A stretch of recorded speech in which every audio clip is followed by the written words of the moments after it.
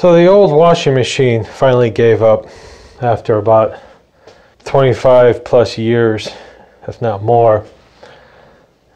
You go to spin cycle.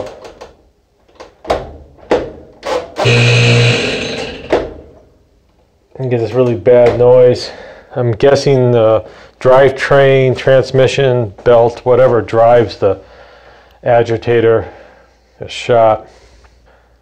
So after 20 years of service, we are going to get rid of this one and get a brand new machine from Best Buy. So the old basket measures approximately 14 inches wide, 17 inches tall. The physical space that the machine takes up will be about the same. It's just a matter of the basket inside.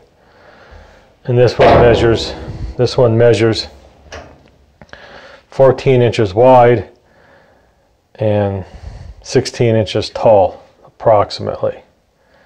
The first thing we're going to do with the new machine is we'll measure the inside of the basket. All right, let's, uh, let's take a look at the new one. 16 inches. I'm going to give it approximately 16 inches to the top of the barrel, at the top of the basket. I'm going to say about 19 inches. So overall, barrel size, overall barrel size is 16 by 19. Um, this was 4.1 cubic feet. So let's um, let's put some laundry in there. Okay, this is our first wash with our new washing machine.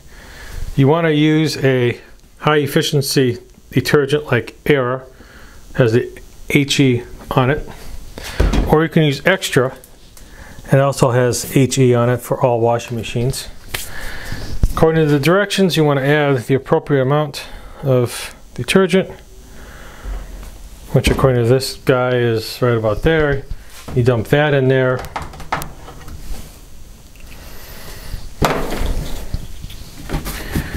And then you just simply load your clothes in. I believe it's recommended three quarters of the way full. And we're just going to put everything in here. Lots and lots of stuff. We've been without a washing machine for about a week. So we'll let a, a lot of this bit out so nobody wants to see me throw dirty laundry into the washing machine. I'm assuming you don't want to go over the top of the agitator. That seems like a good stopping point. Shut the lid. Turn the power button on. Select your wash cycle. We're just going to hit normal. Water temp defaults to warm. Extra heavy duty, heavy duty medium. We're going to go soil level heavy just because. And we're going to hit start. The lid locks and it's spinning the clothes dry, which is kind of weird. Maybe to level it off.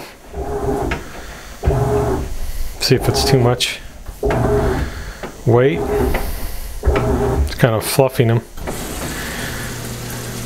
Our timer comes up, it says 60 minutes. That's the approximate time it'll take to do this cycle. We have a wash indicator light here. So we're in wash mode, normal,